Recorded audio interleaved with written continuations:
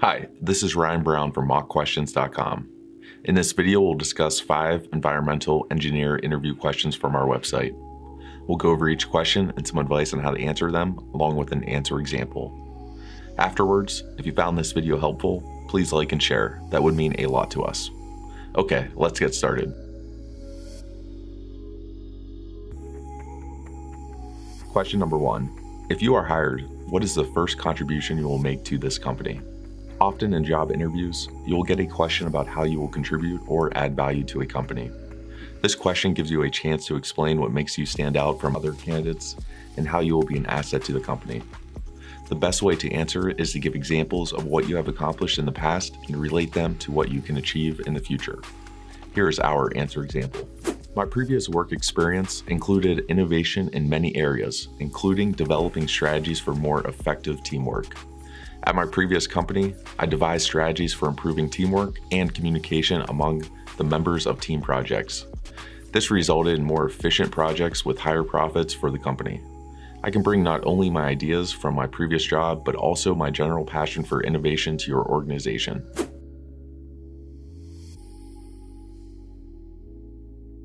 Question number two. What advice would you offer someone considering a career in environmental engineering? The interviewer is asking this question to hear more about how you got into environmental engineering and what you like most about it. They want to know more about what aspects of the profession you are most passionate about and if that fits with their company's goals and vision. You can discuss how a professor or relative inspired you to pursue the career or discuss your strong interest in protecting the health, welfare, and security of future generations. A lot of people I've talked to think that engineering of any sort not just environmental engineering, is just about math, science, and formulas, and it's not.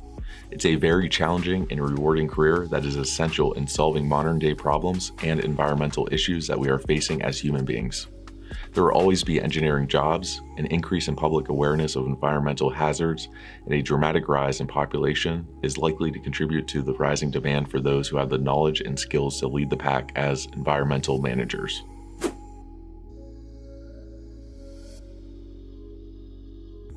Question number three. How do you explain engineering ideas to an audience who's unfamiliar with the topic during a presentation or an important meeting? An environmental engineer will work with many different people. It's essential to let your interviewer know that you are confident in communicating complex engineering topics to people of any skill level and background. Your answer should clarify that you have a strong understanding of engineering concepts and understand the importance of communicating those concepts. Before the interview, consider listing some complex engineering concepts and how to simplify them so that others can understand the big idea in terms they can relate to. I do my best to give examples of engineering concepts that are easy to understand and that might relate to a person or their specific situation. For instance, if I'm sitting down with a group of construction workers, I will compare what I am saying to the process of paving roads. Relating complex engineering concepts to real situations gives my audience a better understanding of the project in terms they can understand.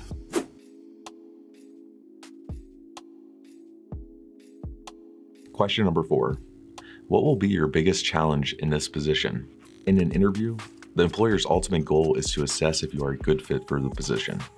To do this, the interviewer may have you reflect on what you think are the most challenging aspects of the job. As you prepare for your interview, take some time to think through how the role will challenge you. Review the job description to inform your answer.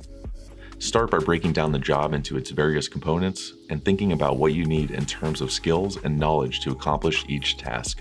Think about any elements of the job that will require training or additional time to learn and be honest in your response.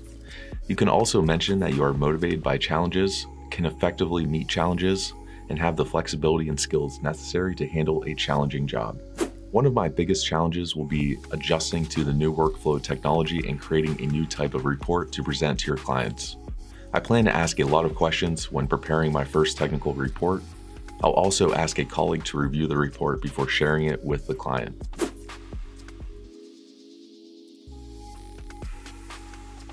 Question number five. Describe a team experience you found rewarding.